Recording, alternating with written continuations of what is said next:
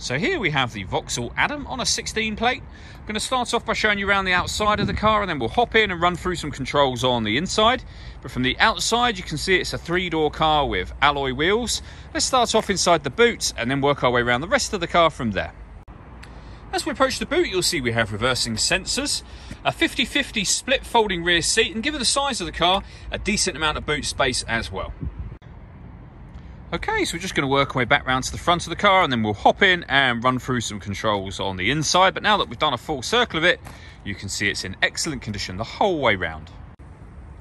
Just briefly before we climb in, I think it's what we're seeing the interior from this exterior point of view. There's plenty to run through on the dashboard, so let's hop in and we'll do that right now. Okay, now that we're inside the car, we're going to start with the dials. On the left-hand side, we have the rev counter, and on the right-hand side, the speedometer and fuel gauge. In the middle, you can see the total miles for the car, which are 30,882.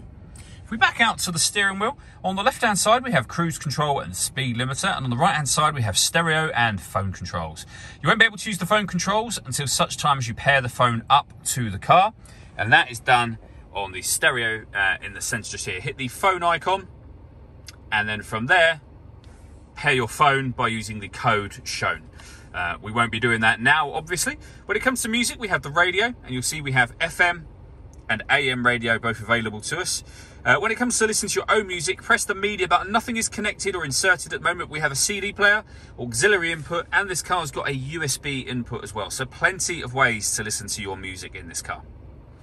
Uh, we have a city button. Give that a push. The power steering will become a lot lighter for parking, for example.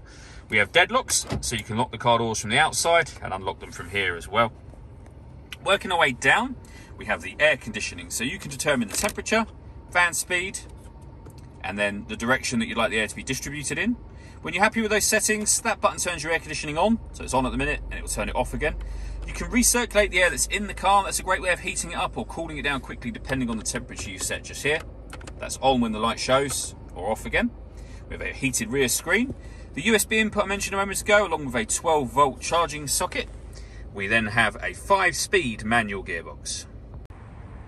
All that leaves me to say is thank you for taking the time to watch this video. If you'd like to come and see the car for yourself and have a test drive, please feel free to give us a call here at MachOne Cars. We'd love to hear from you soon.